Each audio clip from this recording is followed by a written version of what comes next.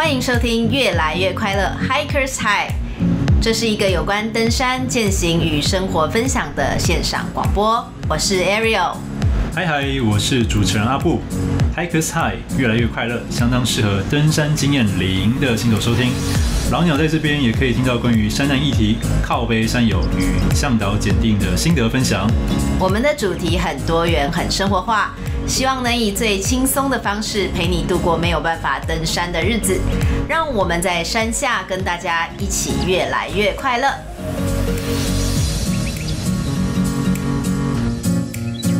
Hello，大家早安！现在的时间呢是一月十七号的早上九点。今天为什么要特别的报日期啊因为我们要讲一个振奋人心的新闻。？OK，那我们赶紧来说一个昨天的最新进度——人类冬季的创举，你有看到吗？这是新闻吗？对啊，创举什么创举？尼泊尔十名登山者攻顶 K two，人类史上第一次成功攻顶 K two。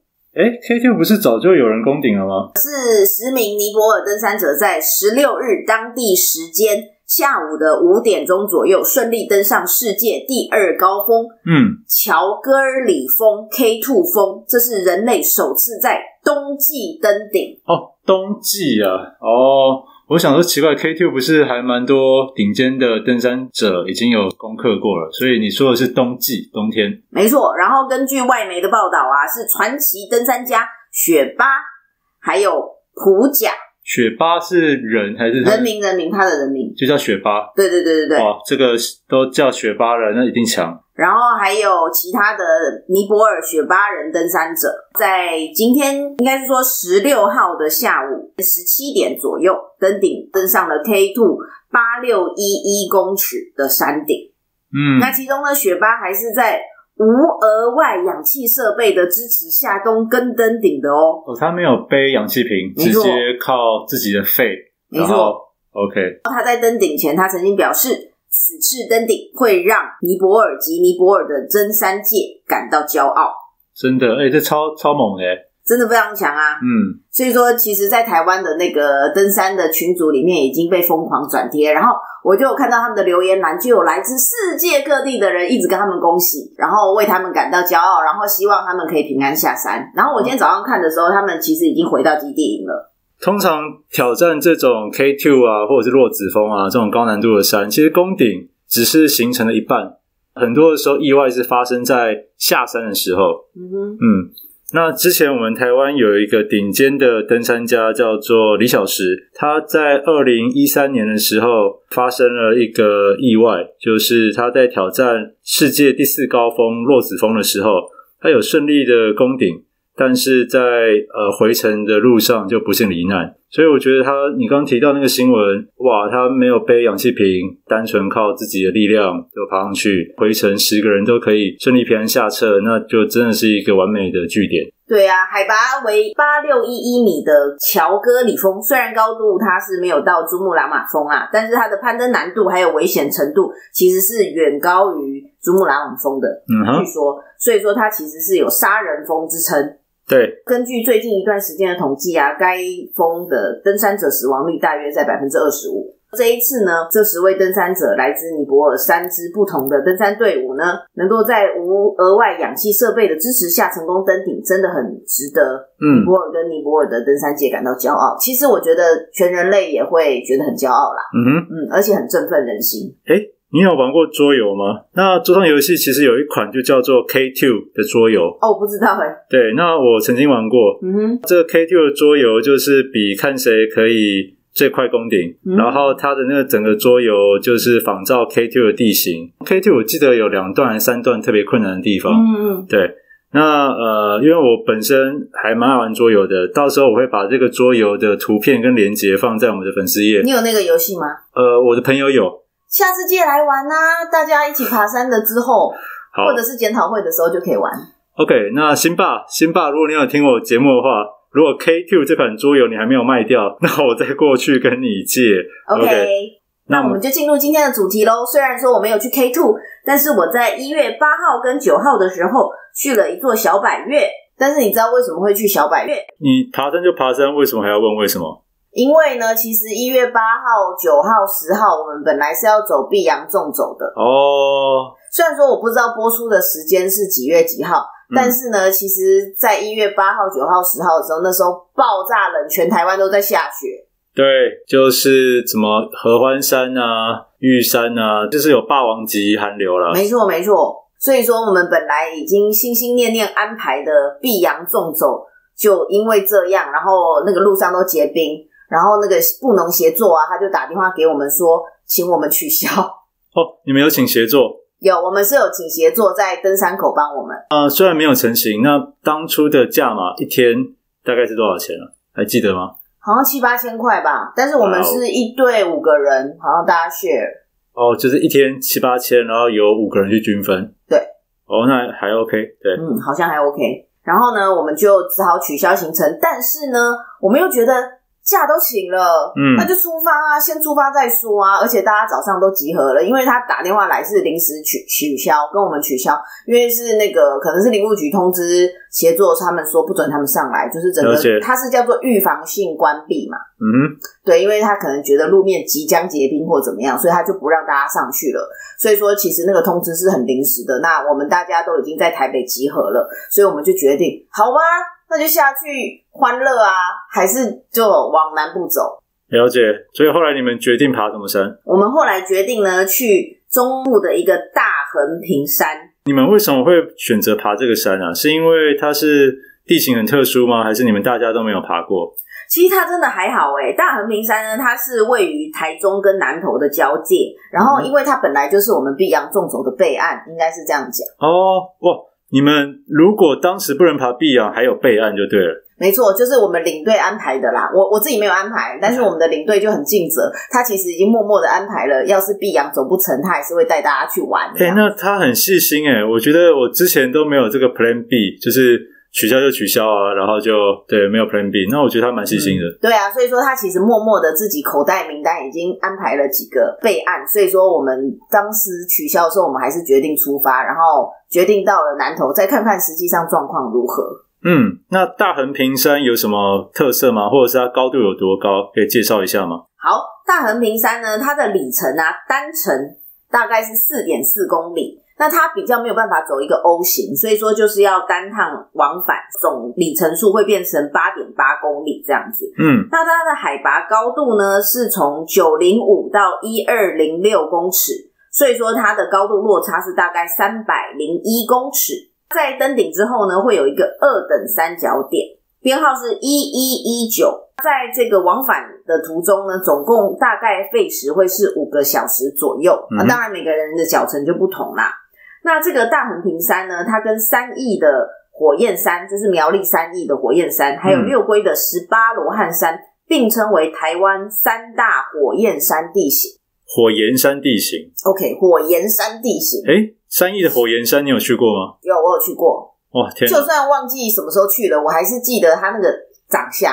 哦，之前那边有摔死人，你知道吗？我知道，我知道就，是整个崩，就是要拍照，然后整个崩塌。嗯哼，对，这边提醒一下听众，就是火焰山的地形可能地质比较稍微脆弱一些，那在自拍的时候要注意自己的安全，不要太往悬崖边拍。就是它如果有架设栏杆，就在栏杆内拍就好了。嗯哼。那你们爬这大横平山，你有觉得地形是光秃秃的，还是说上面还还其实很多植物？其实哦，以前呢、这个大横平山呢、它被归类为魔王级的小百越，因为它上面呢会有很多那个刺藤。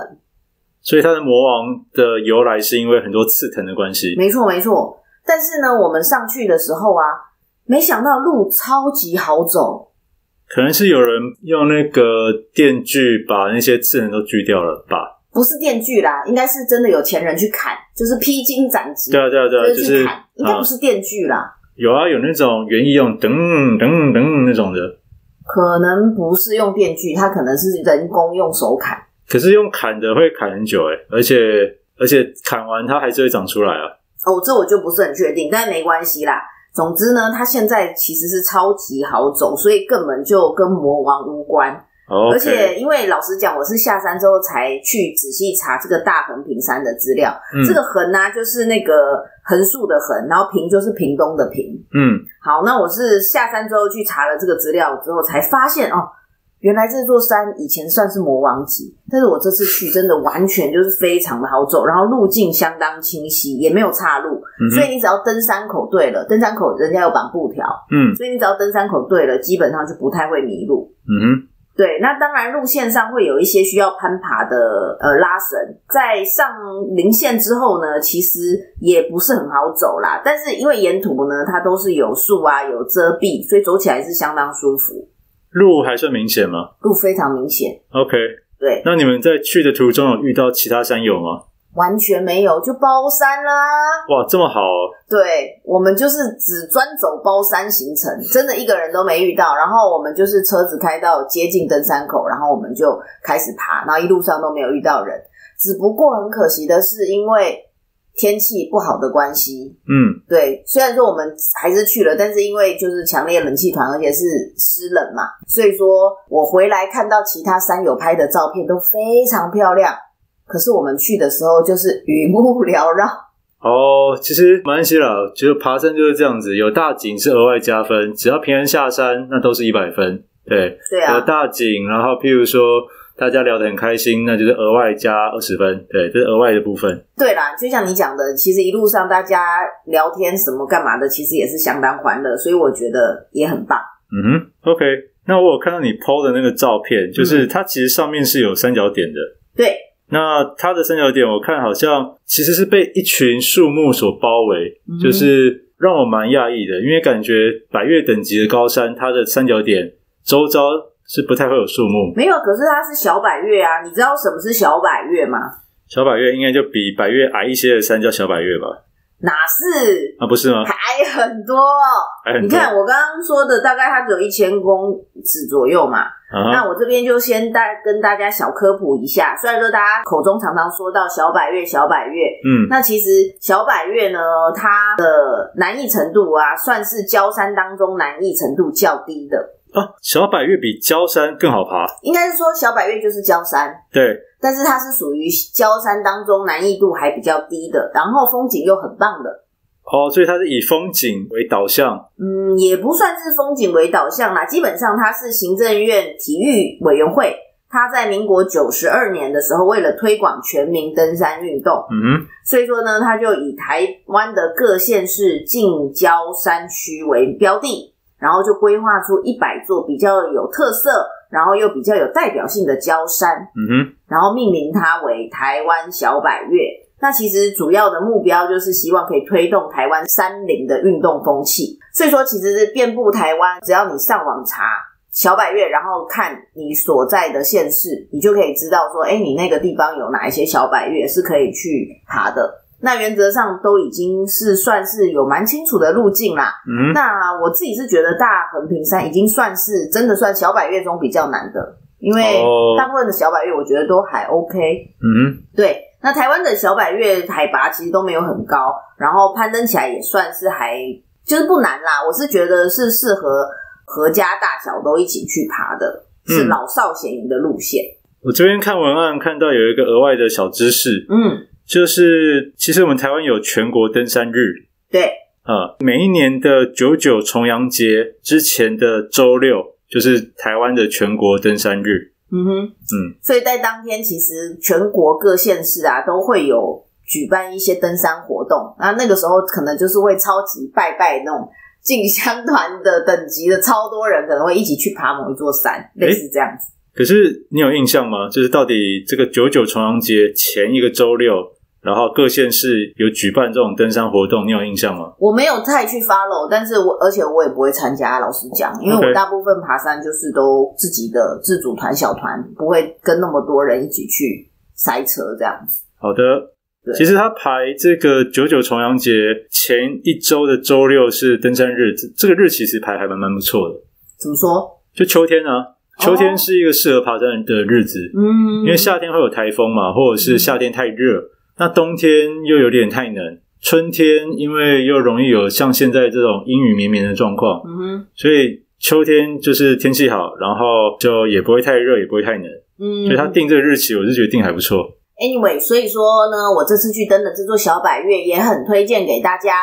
其实我们当天的，其实应该说前一天的晚上，我们就住在呃南头的埔里，因为当天是即时临时决定的，所以我们本来是要住登山口嘛，碧阳的登山口，嗯，然后取消了，我们就立刻上 Agoda 就随便找了一间民宿，然后我们就找到一间那种独栋的民宿，然后我们五个人睡一个房间，哦我以为你们五个人睡一栋，啊，没有没有五个人睡一个房间，但是他那一个房间就有四张双人床。啊哈，所以说其实可以容纳更多的人，然后才两千块，五个人两千，哇，很便宜耶，五个人嗯两千，一人四百而已耶。没错啊。然后我们就决定住两个晚上，呃，所以很便宜。然后隔天出发，又可以先去普里市中心吃个当地的早餐，就大家都非常的，虽然说变成逸乐行程，但大家都玩得很开心。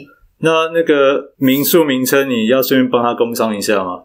还记得 我忘了，反正一个非常低调的，有点民宅啦，好对，反正各位听众就是用 Agoda，然后去随便找啊，超多的呢。对用价。用价格去搜寻，应该就找得到了。对啊，所以说当天就可以直接杀下去，再继续找一个地方住，就可以就可以继续你的行程。然后，因为我觉得啊，就是像布农协作他们，还有呃隔天我们本来要住清境吧，那像他们都非常好配合，因为也知道是天气因素的关系，所以说都是免费能够让你延后。哦，所以不是取消，所以你们之后还是会去爬碧阳这种走。当然还是想去啊，不过虽然说是延后了，但是他已经全额退费给我们。哦他就先退费给我们了，所以说呃，基本上他可以取消，可以延后，也可以直接退费。嗯，对，不过因为这本来就是我们想去的行程，之后还是会去啊。哦，那你们这次找的协作，他们的单位名称叫什么？布农啊，就叫布农，嗯，然后好像是阿青的吧？对，布农阿青。OK，嗯好，嗯那我们会再把这个关键字放在我们的文案里面。那各位听众有兴趣就可以看一下我们里面的文案。然后啊，我这边就再说一下，因为这个大横平山就是我们 day 零，算是 day 零吗？交说第一通天天的那个行程嘛，就是我们第一天从台北开下去，就直接去这个小百岳。OK，但是这样，我们第二天还有一天呢、那我们第二天去了哪里呢？我们就去了卓社林道，卓社林道，这个对卓是哪个卓啊？卓别林的卓，然后社就是社会的社。嗯哼，对，那我们就去这个卓社林道。我们本来要去那边爬那边的一座大尖山，那也是一座蛮难的山哦。不过我们又有点衰的，又遇到呢，当天呢，我们有看到一些伐木工人他们在做人工林书伐作业。嗯哼，什么叫人工林书伐呢？它其实就是一个疏林的概念啦，因为呃南投的这个林管处啊，他们为了配合现今的人工林永续发展，有一个嗯生态性经营的概念啦。所以说，如果说你那个人工林啊长得太茂密，嗯反而它是不利于林木的生长。嗯，所以说，它为了要促进这些林木生长啊，还有林木的健康度，它其实是要让这些树林的分配还有空间的配置更合理，嗯不能让大家挤在一群的成长，这样反而大家的养分啊、阳光啊等等都不够。嗯。我这边补充一下，这个疏林啊，就是让上面的树叶稍微松一点，因为如果说你都是很高大的树木，底下其实没有什么阳光，嗯，那就变成说，它整个林相都是很单一的，就是每棵树都长很高。但疏林的话，把其中的部分的林给砍掉，让阳光可以洒得到地面。那这样的话，地面上的一些灌木、矮木啊，或者是什么的，就长了起来。这样子的话，整个森林从低、中、高都有不同的植物，没错没错，就可以让整个森林的呃生态或者是植物的多样性可以提高。这样子，整个森林可以更健康。对。然后，因为像这样不一样的林木啊，就可以提供昆虫、鸟类、野生动物的栖息地，所以说呢，它也会促进生态系的多样性。嗯，所以有时候必要的去砍伐，其实对，当然对被砍掉的树木是有点遗憾啊。可是但，是它砍掉还是可以做家具等等，还是会被运下山。对对对对，那不要因为好像工人去伐木，就说，哎，你们怎么在破坏森林啊？或者是看到公园有技师在修剪树木，就说，哎，你们怎么在破坏这个树木？其实不是的，有时候适当的修剪是为了树木或整体森林的好。没错，所以我们本来呢要去登那个南投大尖山的行程，也因为被挡在中间，我们就没办法开进去登山口，所以我们就哦，遇到了这个伐伐木工人之后呢，我们就把车停在旁边，嗯停着跟他们的车并排就对，然后我们就用走的走进去，才会变成走林道的行程。哦，本来是可以开车的路段，你们就用走的。对，我们就用走的，但是如果我们走进去登山口，再往大尖山爬，那那一天就时间就用不够了，对，所以我们就只有走到那个良久部落。良久部落现在还有人住吗？没有，完全没有。它就是以前是也是一样有石板屋。那良久部落的良是良心的良，然后久就是长长久久的久。好的，那我们往那个良久部落走，里面哦那一天也是完全都没有人，而且因为天气一样是非常冷啦。你不是说那边没有人住了，那边没有人不是很正常吗？不是我的意思是说没有人去那边玩呐、哦，，对，就一样是包山，虽然说是林道，但是它还是算一座山嘛。我觉得你当天就是一月八号、九号那个时候寒流笼罩全台，会去爬山的应该就就连我了，我喜欢爬山的我都不想出门了。我觉得你要遇到人还蛮困难的。应该说那一天大家都去追雪，山上超多人，只是说大家可能都是去看雪。那像我们这种真心去爬山的，也许就少一点。真心去爬的没有啦，反正我觉得都 OK 啦。对我我也有朋友问我说要不要去看雪，阿文、对，不过我就跟阿文回说，哇，这种天气我宁愿睡觉，对，太冷了。那你们去林道有看到什么野生动物吗？有，我们看到了蓝腹鹇，蓝腹鹇就是那个，一千块上面的那一只，就是蓝腹鹇。你确定哦？你你你没有讲错吗？你说错了？说错了，一千块上的是地质。对，对对对，一千块上的是地质，然后呃，我们看到的是蓝富贤。好，这个蓝富贤呢跟地质，你有什么分辨的好方法吗？有，而且是在网络上查的三秒分辨地质与蓝富贤，好。有，三个重要的点啦、一个是说你要看它的脚是什么颜色，嗯。如果说呢它的脚是红色的话呢，就是蓝富贤；嗯哼，那如果是黑色的话，就是地质。，OK，然后再看它的头上有没有一撮白白的毛，如果有的话呢，就是蓝腹鹇有毛的是蓝腹鹇，白毛白毛，然后没有的话就是地质。嗯。然后再看它的尾巴，看它的尾巴是有全白的羽毛，还是在尾巴当中呢有一些零星的白色横带纹。如果是全白的羽毛，就是蓝腹鹇；然后如果有一些零星的白色横带纹，就是地质。嗯，那我懒人包一下，好，总之就是地质，它的脚是红色的，嗯，然后呢，它的头跟尾巴有全白的羽毛，嗯哼，所以只要记红脚白白，白头白尾。对，那地质的话就是黑脚，然后没有白毛，那尾巴的白毛就是零星的这样子。对啊，两只其实都长得很漂亮，而且这两种鸟类都是全世界只有台湾有，哦，真的吗？你不知道？台湾特有种啊！你小时候生物没学，自然科学我我知道蓝富贤是了，地质也是吗？地质就是，然后所以才会登上我们的一千元钞票啊。哦、o k 所以都是特有种。好的，对，基本上我目前啊，我听很多山友讲，就是蓝腹鹇出现的几率越来越高，所以常常在登山的时候，其实都可以看到蓝腹鹇。嗯，我去登玉山的时候就有遇到，而且还有录影。对，嗯哼，就而且还蛮不怕人的，就觉得。哦，对对对，所以你这次遇到的是地质还是蓝腹鹇？我这次遇到的是蓝腹鹇。然后呢，呃，因为他们现在我刚我们刚刚说的这种啊，都是嗯公的啦，公的才会有这么多的色彩。哦，那基本上母的它就是比较偏大地色系，咖啡色这样子。对对对对对，咖啡色。好，那好像地质是比较濒临绝种，对。是地质还是蓝腹鹇？我看一下。地质，像地质。蓝腹鹇现在蛮多的。OK，好，所以地质目前是比较少见的啦，所以对能看到的话是非常非常幸运的。嗯，那地质的分布的区域大概是在海拔一千八到三千五公尺以下的一嗯，些针叶林啊，还有那个草原的混生地带。那比较喜欢浓雾，所以说呢，它就有一个昵称是叫迷雾中的王者，这是地质的部分。嗯哼，那蓝腹鹇呢，它是在海拔三百到两千五公尺以下的中低海拔的阔叶林或混生林。那它呢就有山林隐士之称。不过我觉得现在也不太影视了啦，就感觉好像大家都遇得到了。对，现在他就蛮容易遇到，而且真的就像阿布讲的，他没有很怕人，所嗯所，以说不过看到还是很兴奋呐、哎，那说到这边，你在山上有遇到怎么让你印象深刻的野生动物吗？山上的野生动物哦，嗯，熊有遇过吗？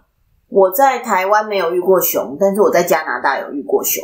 就是 face to face 面对面这样遇过，没有就瞬间，只我在巴士上，然后他在我前面，然后他就闪掉了。这还还蛮安全的，对。嗯，你嘞？我的话就我们去年六月爬的欧胜吧，遇到那个水路，大概距离我们十公尺、二十公尺左右。水路算是很稀奇吗？现在不是一天到晚都遇到水路？可是这么大型的哺乳动物，我是第一次遇到。应该说，我还没有去爬过能高安东军。听说能高安东军还蛮容易近距离的接近到水路，对，对，但但我没有爬过，所以那是我第一次遇到这么大型的哺乳动物。我们上次在黑森林不是遇到长鬃山羊哦，所以那是山羊，不是水鹿。啊？所以你是在讲那一次？对对对对。那是长鬃山羊啊！哦，好好，那那那个这边哎，我你哥看到的那一只啊？好，那我这边更正一下，我看到的是长鬃山羊。对，哦，那就期待之后有机会我去爬那个能高安洞军的时候，可以就是见到真正的水路。对，对啊，应该很容易见到很多水路。嗯哼，好，所以说呢，Ariel 的这两天碧阳纵走的行程就变成了小百越还有着色林道。嗯，然后呢，这个着色林道上面呢，还有一个小惊喜，就是我们找到了一个三字三角点，就是那三角，什么叫三至三角点？就是那个三角点上面写了一个山。这个三角点有写个山，有什么特殊的地方吗？诶，其实我不是很确定诶，但是我只知道看到的时候，大家就说哦，有个山字三角点，然后我们就在想说，诶，那我们现在到底是登了哪一座山？嗯，结果不知道诶，没有任何人做记录诶，哦，所以就是你们找到了一个三角点。没有名称的三角点。没错，在林线上，在着色林道上面，然后接近良久部落。好啊，那呃，希望如果知道这个莫名无名的三角点的山友，我们会把照片贴在我们的 FB 粉丝页，再请厉害的大大大神们看到，可以给我们一个解答。但是已经来不及了，因为、因为它没有名字，所以我已经把它命名为小波山了。你在那边给他乱乱命名，好啊，我已经命名了，所以那一座山是属于 belong to me 这样子。好，那希望如果说那个 Tony 大大写那个 Tony 人文笔记的 Tony 大有听到我们节目的话，如果知道这个三角点是什么名称，再麻烦帮我们解惑一下。对，OK，今天呢，这个跟大家分享了 Ariel 的行程。那如果说大家以后去了中部玩，其实这两个地方都非常棒，而且人比较少。环境也很优美，天气好的时候更是视野辽阔，嗯所以也很欢迎大家呢，就多开发一点新的地方，不管是跟我们分享，或者是自己去尝试，都可以不要再走那些非常人挤人的路线。我觉得这种很好玩的焦山路线真的超棒的。好，冬天我就去爬焦山，对，夏天我焦山太热，不过我相信啦，秋天或者是春秋冬这三季去爬焦山真的是挺不赖的，蚊虫也会比较少。好，那今天就跟大家分享到这边喽，谢谢大家，拜拜，拜拜。如果喜欢我们的频道，请按下订阅、分享。不喜欢的话，也请分享给讨厌的人来互相伤害。Anyway，有任何的问题想要我们讲的主题，请留言在越来越快乐的 FB 粉丝团。那就下次见喽，拜。